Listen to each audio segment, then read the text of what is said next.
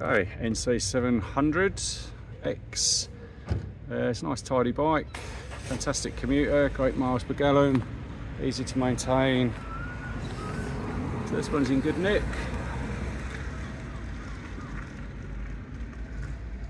It's got the crash bars, a little charging lead there. Had handguards fitted, I'm sure they're not standard. It's got the under, under tank storage on them. Uh, chain of sprockets look pretty new.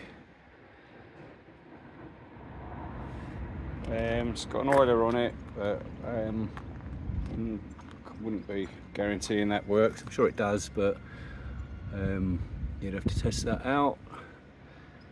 Uh, rear tyres got, I mean, it's certainly not illegal. There's quite a lot of tread in it. It's a little bit unevenly worn. Uh, it's got a Givi rack on it.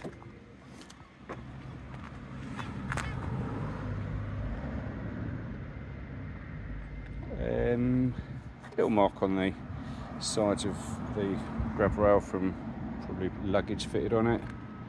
Didn't notice little sort of bit of the seat coming away, the sort of vinyl covering there, but just sort of general wear and tear really.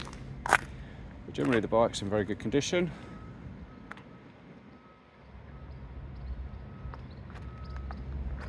No obvious dings on it.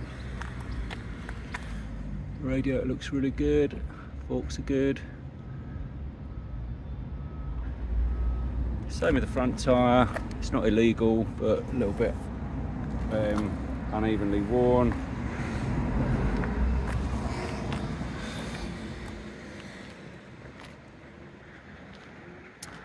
Um, again like the Scottoiler, it's got heated grips.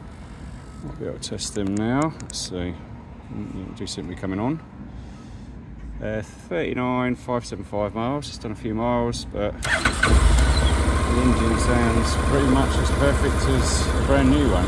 Just sold one uh, 2020 with a couple of thousand miles on and honestly the engine sounded much the same as that. There's no rattles, no smoke, no cracking, cracking.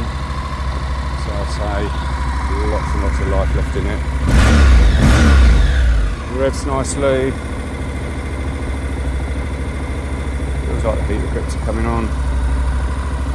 So if the Scottoiler is working, then you've got a little thing on your handlebars to adjust it. Oh, it's starting to rain, how about that? Um, so yeah, I mean that's a really nice bike for the money. It's brilliant.